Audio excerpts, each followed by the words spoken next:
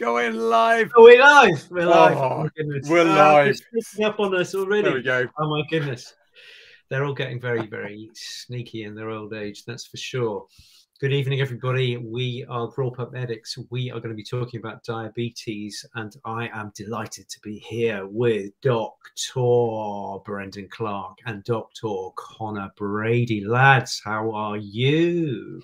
I am very, very well, very well. I've got the heating on at the moment, and I'm absolutely sweating. But aside that, it's a it's a good complaint. Very cold where we are at the moment. Uh, when I say cold, it's not like you know freezing cold, but it's cold. It's like two degrees or something. What about you guys? It's is it still cold over in England? Cold, but not too Uh, bad. What light about you, frost, Brent? In light the wild of Light frost, light frost. Oh, It's nice do, in the do you- morning. do do you know what? I actually heard um, down in the southeast of the country, ticks are Mhm. out. Ticks What? are out. No. They're Already? absolutely out. Th- This whole thing about you know three days, ten degrees um, or more day and night, and they start coming out, and people are already reporting them in the southeast. Thank God I don't live in the southern counties. Whoa. So watch out if you're down in Essex. Uh, Yeah, out ticks biting are your out. ankles. God, I hate them. I hate ticks so much. Uh, I'm in Wicklow. Wicklow and Kerry here in Ireland are the two very ticky places because it's where we've the most deer, I suppose.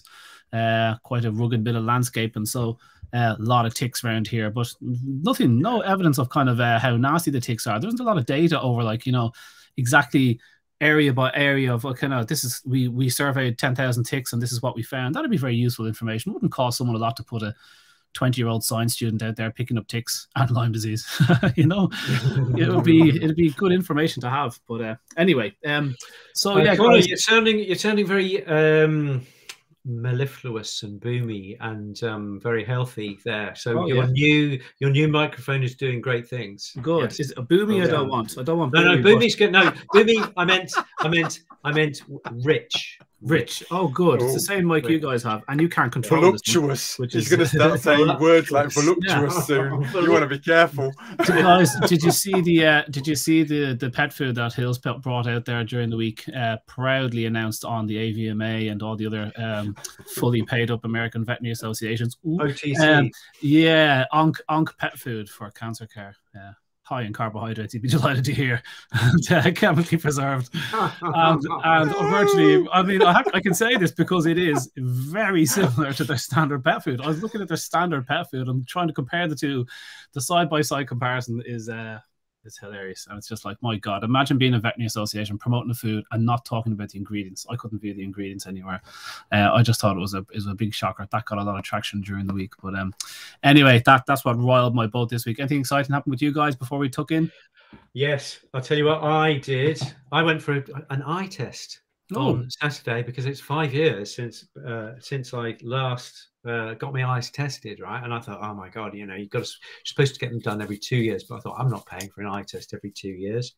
So I went I went along, and my eyes are in exactly the same shape as they were five years ago. So, and they said they're actually uh, I've got slight mm, something, and even that is not as bad. So I treated myself to some new reading glasses.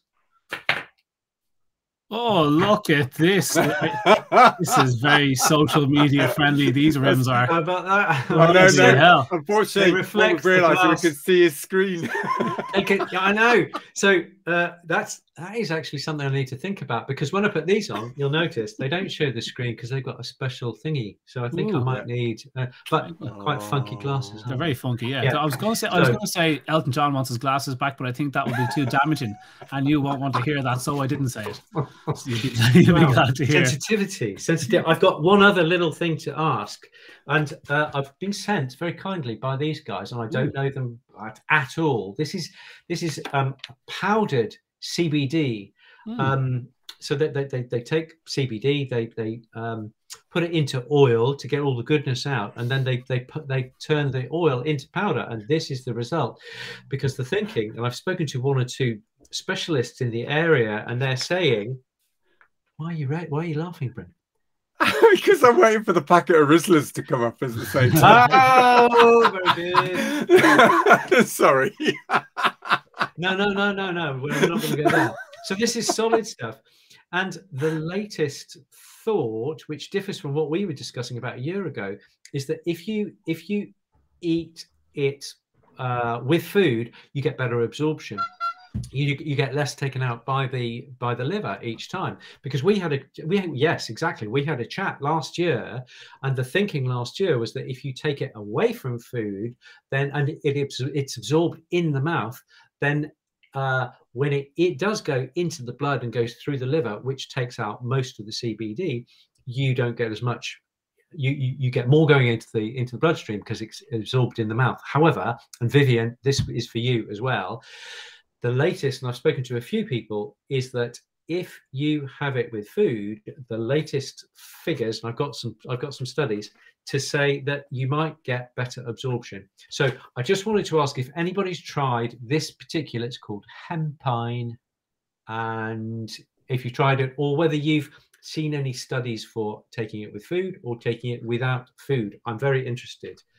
Just I'd be really interested. I wonder if you chew it like chewing tobacco and you just sort of like put it in a pouch up inside your cheek, whether you get uh, extra hit. Does anybody remember? Maybe you could the, uh, try uh... some, Nick, and, and let us know next week. Um, yeah, I, I, I, know several um, pit bull terriers with whom I could try that experiment. In fact, oh, I've tried thinking, it. I was I've tried it. I've tried it five times already, and it seems to be working well. Does anybody remember the movie The Outlaw Josey Wales, where he used to chew tobacco all the time and spit in things, and he'd spit on in a can, and he'd spit in a dog? Do you remember that movie? No, it's a really uh, old uh, Western movie. It's one of the funniest scenes ever in a movie, in that where he's chewing this tobacco, and he's a pretty obnoxious man, but he's kind of cool.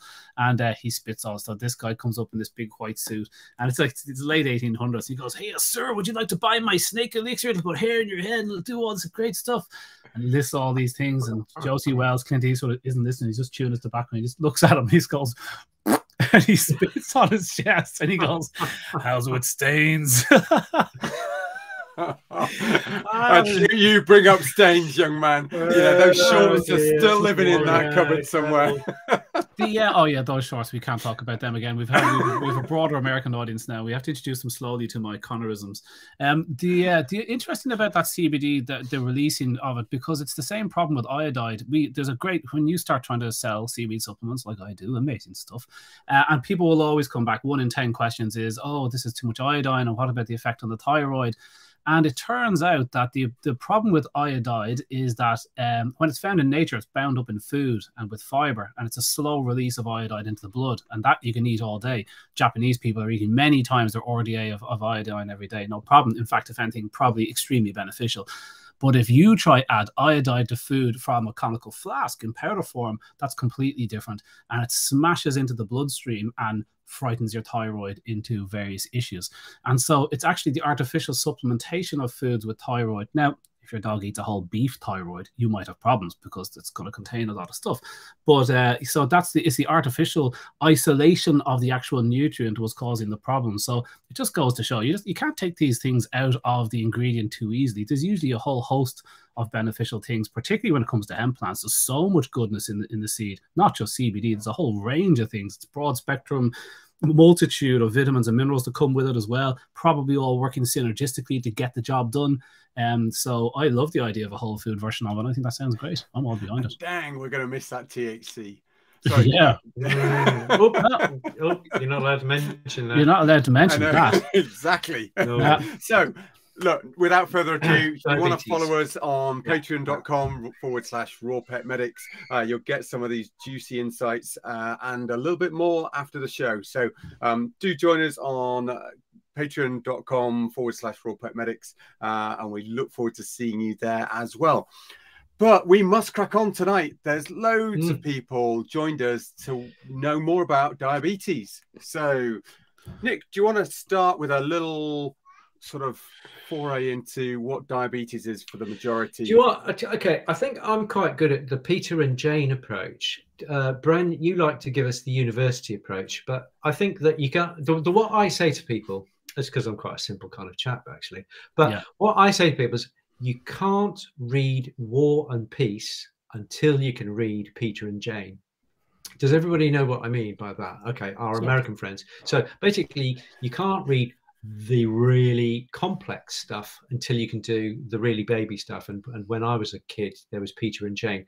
Um, anybody got any? Uh, what did you What did you learn to read on? Anne and Barry. Anne, and Barry. Barry. There yeah. you go. Irish names. Uh, uh, Peter and Jane. Peter and Jane. Okay, okay. Yeah. So, so I think you get the picture. It's basically it's like Peter went to the shop, Jane went to the shop, Pat the dog was at the shop. They said hello to Pat the dog, etc. Okay. Bird books.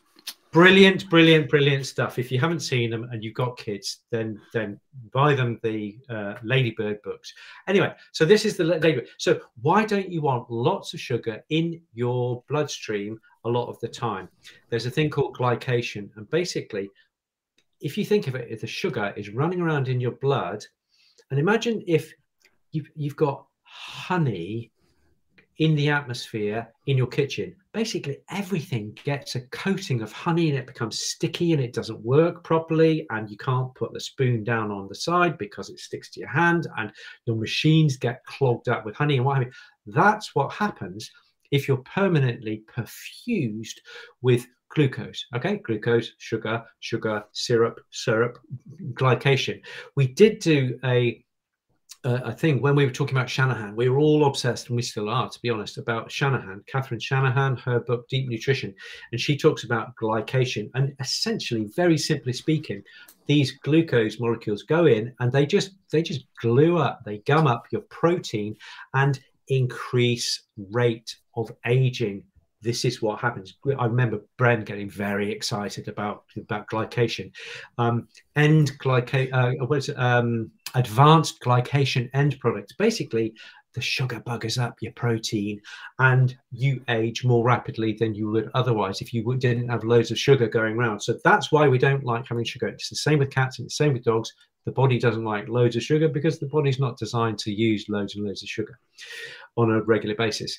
And the problem with diabetes, and we're talking about diabetes mellitus, mellitus means honey, as in uh, as in honey, and in and honeybees, and, and, and oh, oh, Apis mellifica. Yes, good. I knew there was a. I was thinking about honeymoon, and moon, and and mead, mead and honey, and that I couldn't get it all together in my brain in the same t- at the same moment. So um, we're talking so so diabetes, diabetes insipidus is where you pee like mad and you drink like mad that is water diabetes and that's a completely different system to sugar diabetes we're going to be talking about type 1 and type 2 diabetes and very simply speaking type 1 diabetes in humans is usually young people children and this is where your, your, your, pancreas just doesn't produce enough insulin. Insulin is there in order to pack away glucose and proteins into your tissues so that you've got good uh, uh, glucose metabolism and you haven't got all this sticky glucose running around in your blood the whole time. But, uh, diabetes type 2 in humans is where you produce some you know, glucose and you overproduce it day after day after day because you're eating a western diet and so you're you're just pushing screaming insulin into the system and after a while your your muscles just say enough already I've heard what you said about insulin. I'm getting sick of you screaming at me, and I'm just going to switch off and I'm not going to respond to insulin. Which and what happens is the pancreas goes, the muscles aren't listening to me, I'm going to produce even more insulin. And so you get more and more and more insulin, and it's less and less effective at, at, packing away your, your glucose into your muscles. So you get loads of insulin, you get loads of glucose, and that is diabetes mellitus. The book to read, I'm going to give you a reference. The book to read is by Benjamin Bikman. Ben Bikman, you can see him on Instagram, does loads of Instagram stuff, loads of YouTube stuff, and what have you. And it's called Why We Get Sick and it is a wonderful description of why we get sick because basically insulin in excess really really really damages your cell. It's a growth hormone and so causes problems it's linked with cancer and all sorts. And lots of glucose is really bad. So diabetes is is to be avoided at all costs and this is why we love the raw food diet because it's a low calorie low carb diet low grain carb diet and therefore you innately have much lower insulin and, and, and more balanced glucose. Okay there you go. That's a little a little roundup 1916 and um that's me for a bit guys Sounds good. Uh, did you get did you get that? You are a bright boy. But I, you, you, yeah, I've got I've got my I've got my head around the different two okay. different types of diabetes. I sure have. Uh, I'm not yeah. quite sure uh, if Bren wanted to elaborate on that because I think that's kind of clear enough as it is. I like you know straight out of the traps. You know, I see there's two different types of diabetes, and um, while the the I totally agree that surely, surely this is related to the Western mm. diet. Diabetes is exploding in the populations that eat high carbohydrate diets, and moreover, you can reverse type two diabetes by cutting out those uh, high carbohydrates. It's not just sugar, really. When Nick says sugar, he means like pasta essentially is sugar, rice essentially mm. is sugar. It's not just the white granulated stuff you put in your coffee. That's uh, it's it's gone beyond that. It's any ultra processed white flour. That's sugar. It's just zapped into sugar in your blood straight away. Too much of that drives this this issue.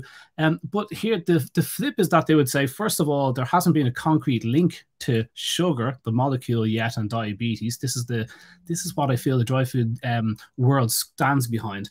And I wanted Bren to kind of talk to us about cats and dogs, type one and type two diabetes. What's the story there? And then I'll come at you with my question, Nick, about sugar. Cool. Yeah. So um, it's really interesting actually um, because humans we will talk a lot about type 2 diabetes just because of the obesity epidemic that um, you know we as humans are going through. We see that in our pets too with all of the processed foods and nick sort of touched on why that might come about and actually all of the issues with insulin acting as a growth factor as well which then sort of changes some of the fat cells to put more fat down uh, all sorts of interesting things there.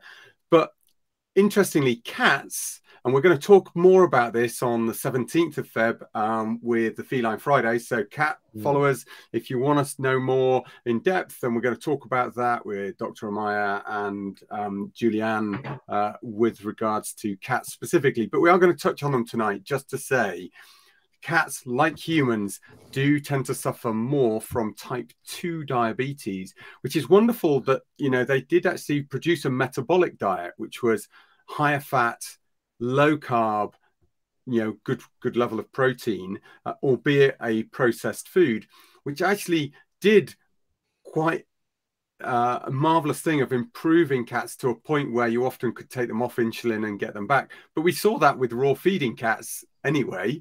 Um, and it just reiterated that that was the right way to go for those. And so, certainly, I would say for cats, you know, getting them ketogenic, and this is an important point, remind me to talk about the difference between ketosis and ketoacidosis. Okay, that's a really important thing to understand about the side mm-hmm. effects. We must talk about what can happen in diabetes symptoms.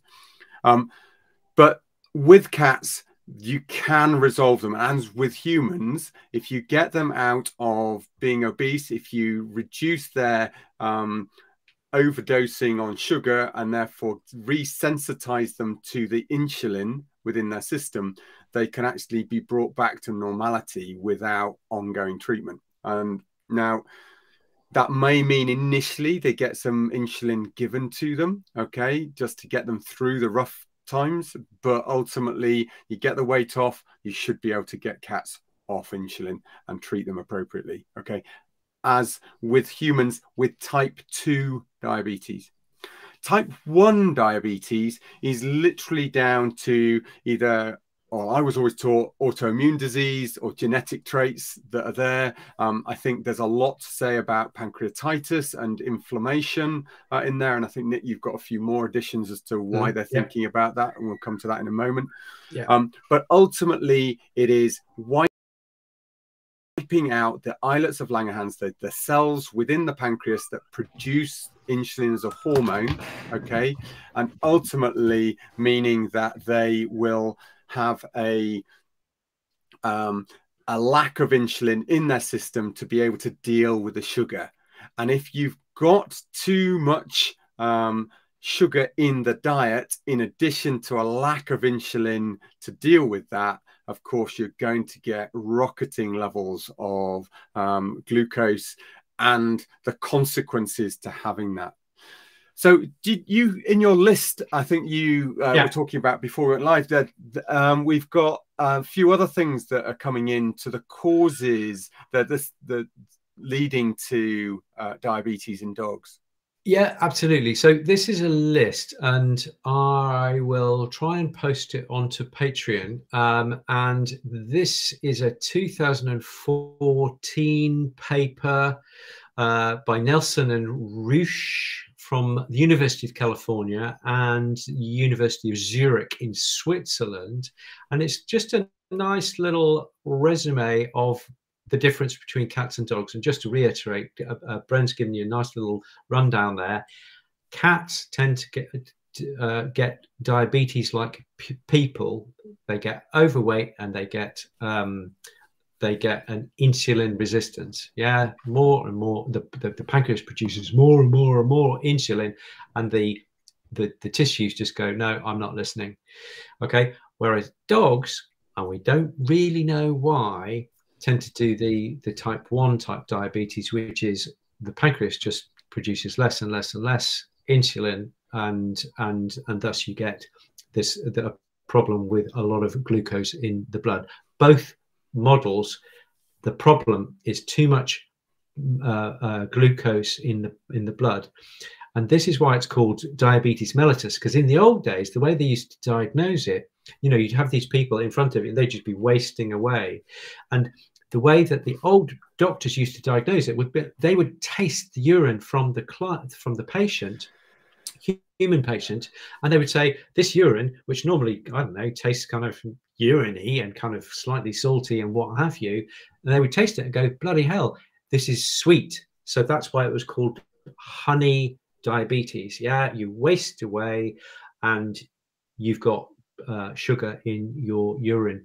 Um, anyway, so just going back to this list. So I'm going to look at dogs. We can mm-hmm. compare cats because I think cats is quite easy because uh, the, the, the two lists are almost opposite. So for, for dogs, I'll give you the first four genetics, immune mediated insulinitis, which is where the body attacks the beta cells, which the beta cells produce the insulin. Then we've got number three is pancreatitis, and number four is obesity. So, obesity plays into uh, pancre- uh, uh, uh um, diabetes in dogs, and yet we in dogs we get uh, we get type one diabetes. Okay, whereas in in in humans, when they they put on excessive weight, they get type 2 diabetes. Mm. I, would really like to talk about that because that's that's interesting in in the article here, they do mention that there is an autoimmune response because most dogs don't get uh, diabetes type 1 in dogs until about eight years of age okay? And that's by you've had time to have really you know poor metabolic function. And i think that increased triglycerides in the presence of high grain carb and conor i'm sure you've got something to say about that because we've been increasing the amount of, of grain carbohydrates in kibbles and things like this over the last 30, 50 years. And thus we've got increased triglycerides. Therefore, we get more stress. And for me, this is my personal theory, we get more stress on the pancreas, and thus the pancreas is, is, is, more inflamed and thus is more likely to have autoimmune effects. Now, I'm sure the specialists will go absolutely nuts when I say that, but it kind of rings true for me. So, Top four for dog is genetics, immune mediated insulinitis. Yeah, so this is autoimmune disease, pancreatitis, which we know is very common and is related to high tri- triglycerides and obesity. Whereas with cats, we've got islet amyloidosis, so deposition of fatty proteinaceous material in the in the in the pancreas. We've then got obesity. Okay, obesity and, and uh, diabetes is big with humans, and then we've got pancreatitis. So it's number three in both of the both the cat and the dog, which is interesting.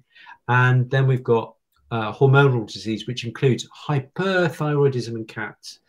Dogs, hypo, uh, hypo. Oh no, it actually says hyperthyroidism. I think that's a typo. Yeah, yeah that's pretty rare. Very rarely get hyper. Yeah. I think that's a type. of, I've only just seen it.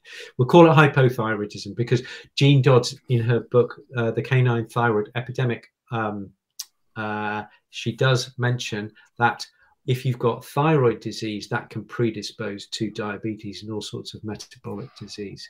Um, Conor, you were saying that you've got some yeah. last 30, 40 years or so. Yeah, like you know, I think there's a I don't I don't trust a lot of the information out there on diabetes for a very good reason because you know there is a very big effort made in um, the world today to keep the idea that sugar or diet is the cause of diabetes and may possibly be the solution because there's an enormous industry around diabetes and that's just a fact okay? It's an extremely profitable.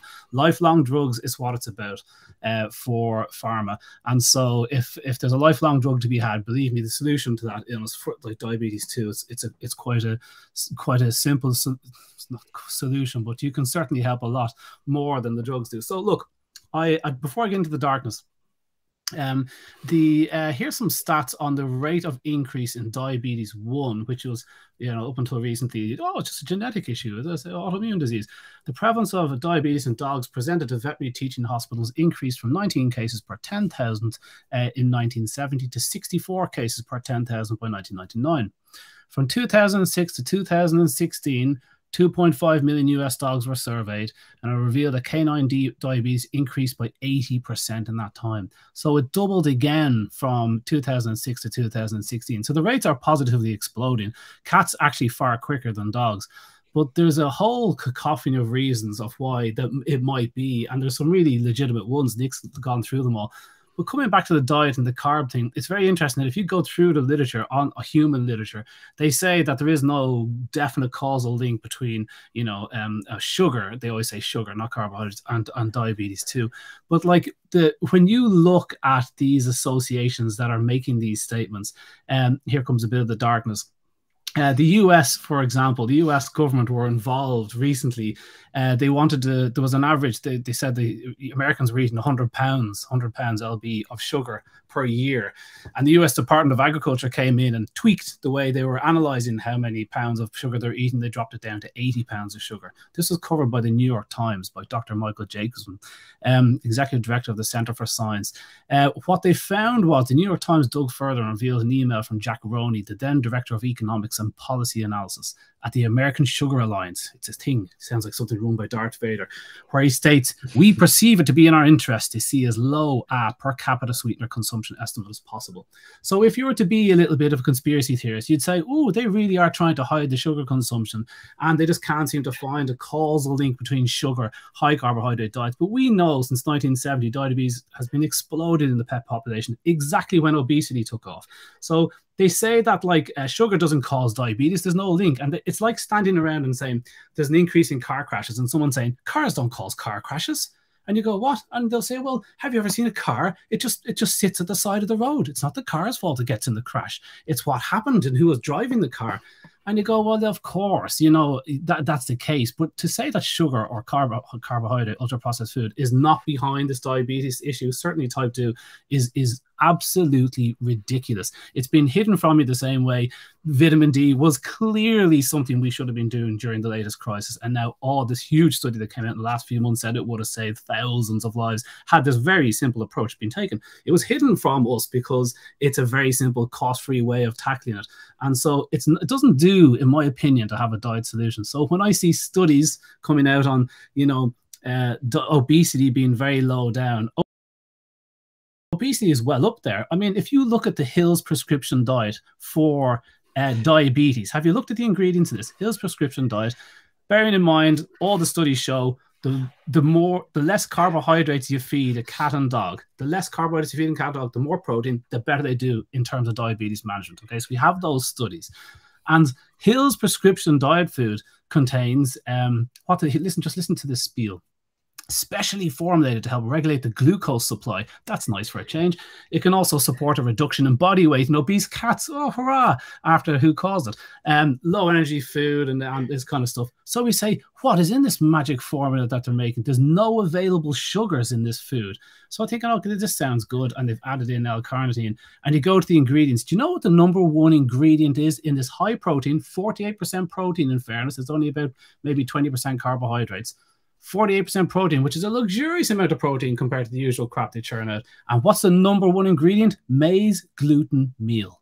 Maize gluten meal is an indigestible protein source. You can't, you get it's completely not available to the dog. The bioavailability of corn gluten is the stuff that comes out in your poo that you know you can't digest. So they put this in there. Why do they make that the number one ingredient? Because they suddenly have to make a high protein diet, and God forbid they should give these meat eaters more meat in their diet that they can digest. They give them shit that they can't digest. So now a large portion of the protein in that food is not available to your dog since Crogdile et al. in 2016 showed that a lot of like 30% of the protein in puppy foods isn't available to the puppies, and they're already at the minimum intake, so that drops them below the minimum. This is dire, but I suppose in a way you want your, your animal to lose weight. That's one way to do it. If 20% of it is tissue, you know. So this Hill's prescription diet for which 48% protein, number one. Uh, corn gluten meal. The second ingredient is chicken and turkey meal, 30% chicken and turkey meal.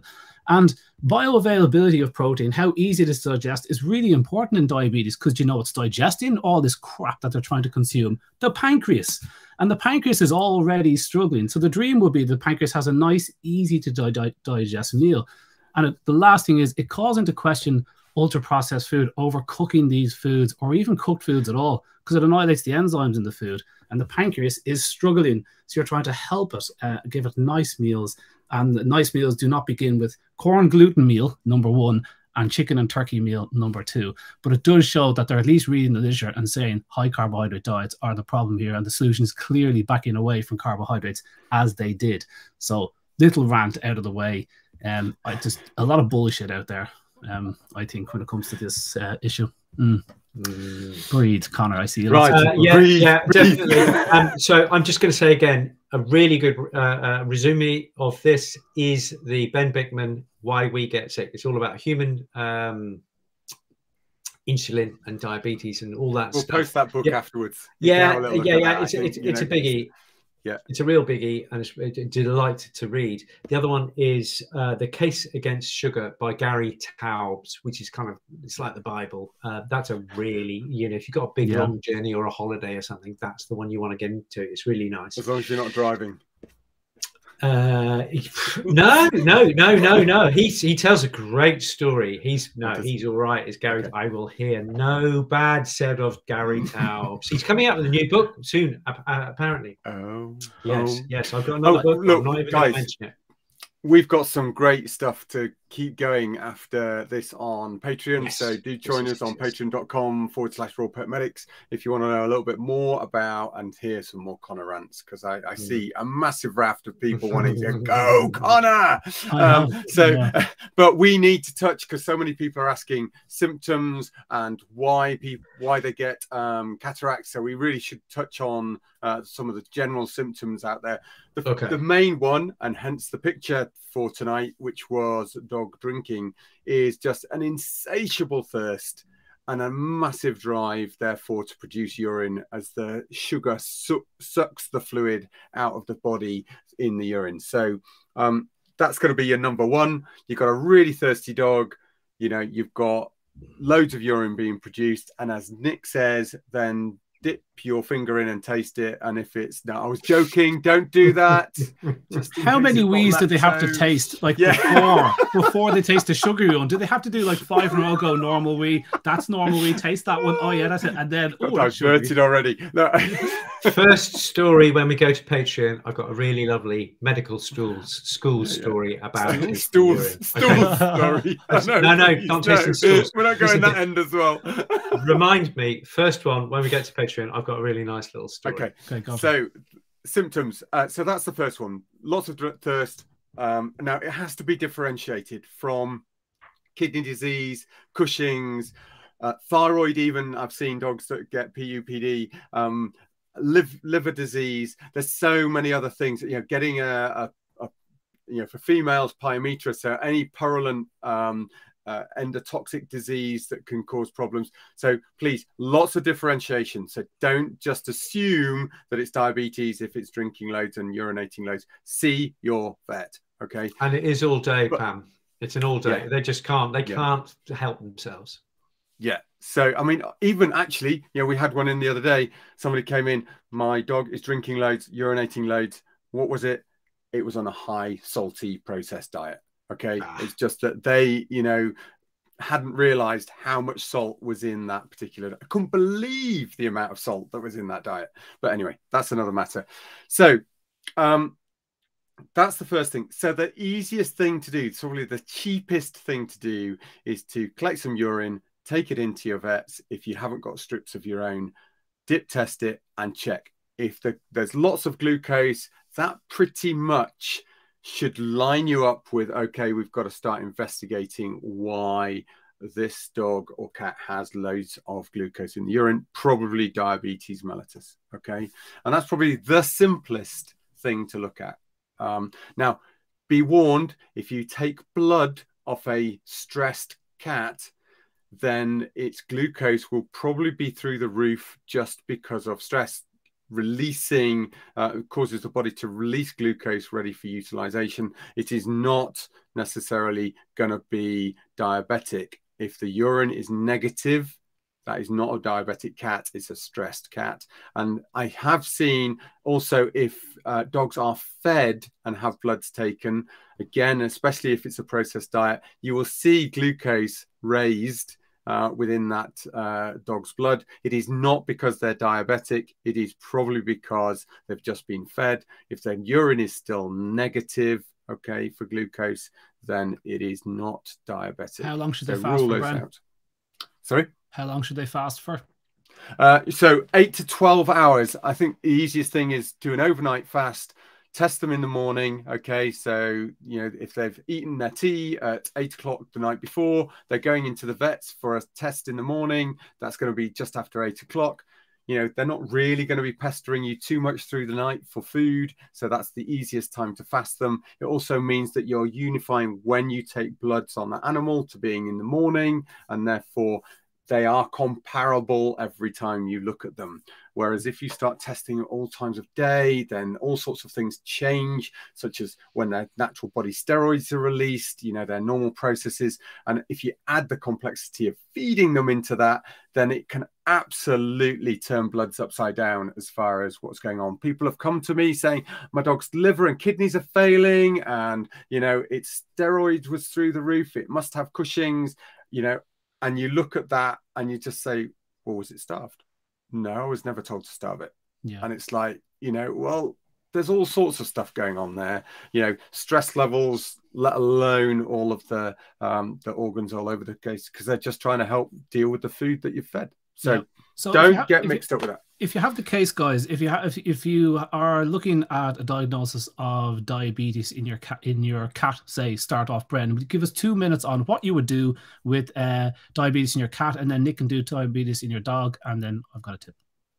Okay, uh, well, I um, I will go very quickly on that. There is some other symptoms we need to talk about because um, we will need go to talk about cataracts and stuff. Um, so you understand if you've got high glucose in your bloodstream for a long period of time, that glucose will leach out into any other body fluids, and you may find that it will build up in the eye. If it leaches into the lens of the eye, that draws fluid into it into a relatively uh, dehydrated protein structure that makes it clear. Okay. And as soon as you swell it, with fluid, it will start to um, damage the cells within the lens. That can lead then on to cataracts, but just ah. swelling it will mean that the light is refracted through the through the lens rather than actually get passing through to the retina. So they look quite blue quite quickly, and then further damage will mean that they start to scar and you'll actually get true cataracts.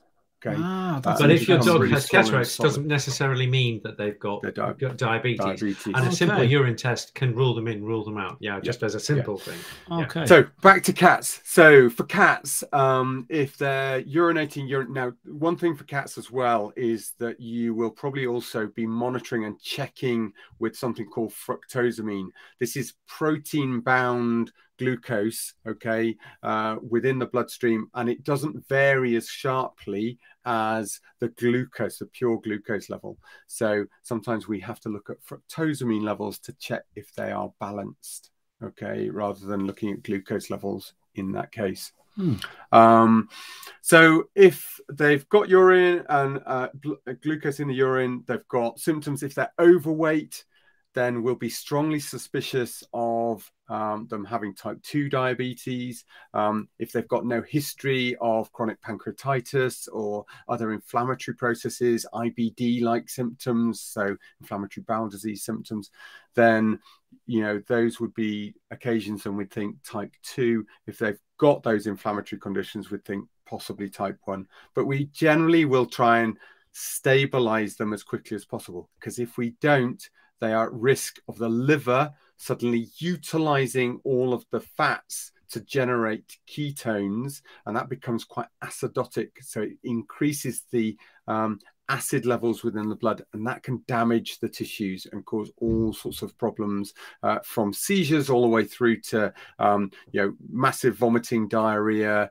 dehydration, um, you know, they can be in a really sorry way if they get to that point. So we do need to try and stabilize them quite quickly.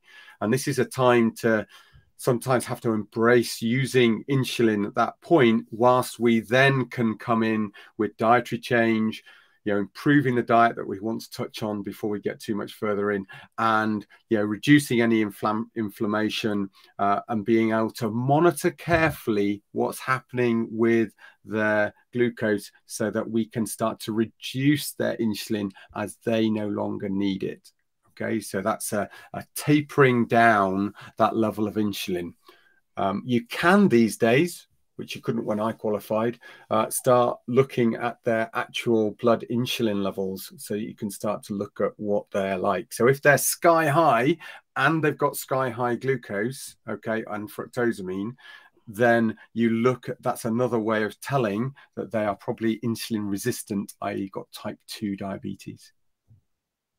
That's fine. Brief. Nick, go for dogs. Okay, I'm going to do even briefer on on dogs. If if you've got a dog and they're drinking like mad and they're peeing like mad and um, they might or might not be overweight, then I think get to the vet, take a, a, a urine sample. If it's warm, even better. Fresh urine samples because they will degrade pretty rapidly, and just say to them, you know, please can you can you have a look at the dog?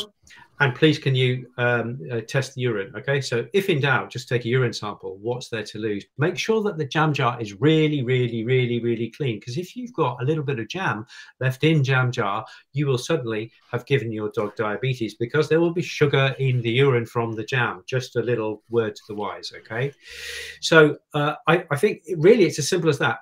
If if the dog is drinking like mad and peeing like mad, and there is any suspicion, I think get along to the vets. They will, with a urine sample, they will take a blood to confirm or refute the idea that there may be diabetes, and they will begin a, a, a treatment with um, insulin. Because remember, in dogs, it's usually type 1 pancreatitis, which is the your pancreas is giving up the ghost from giving from from producing insulin. And so you just have to you have to supplement that insulin. It's much more difficult to treat using diet using lots of other things than than cats.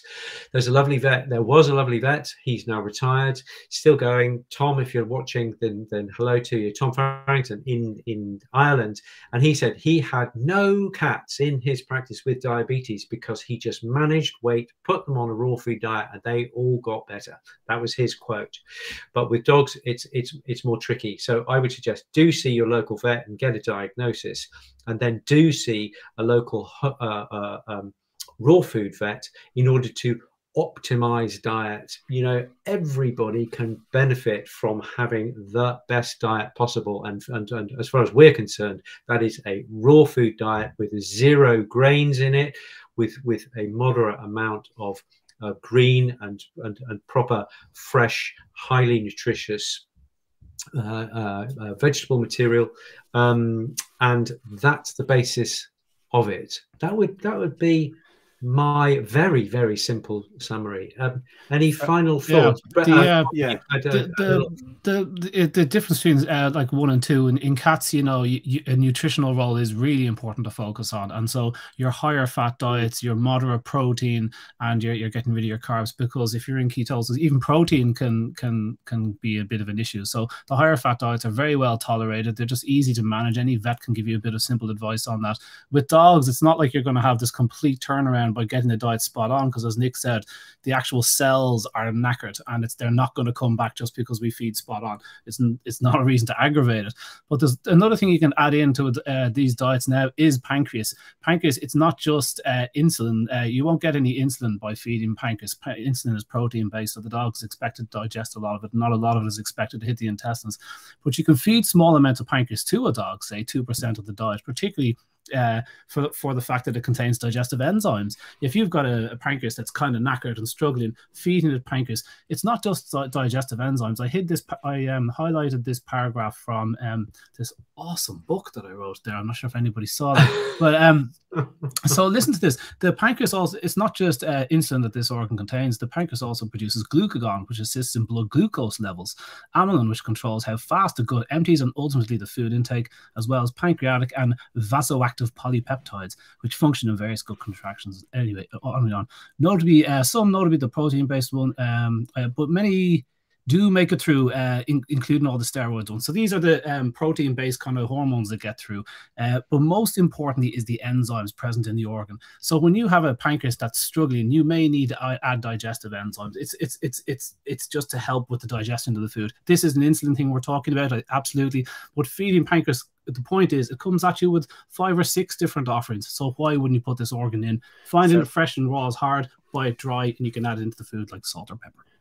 So we're going to talk more on Patreon about this, mm. but something really useful for the guys out there is to know that for humans, looking at that adipokines, which is things like adip adiponectin, which is one of the peptides, taking these orally are becoming a new way of trying to help those humans with diabetes. Okay, so uh, now we know for dogs, it's not quite as simple as that. There's some things going on that means they're not necessarily reflected of that, but they have anti-inflammatory properties too um, and so all of those peptides can be really really useful conor so some of those pancreas um, items that you've just talked about there may well be feeding into a natural way of accessing those peptides rather than necessarily um, having to artificially. No, that's interesting. Yeah. So that's brilliant. So we're going to talk more about that. Last but not least, somebody asked about why raw food feeding could still help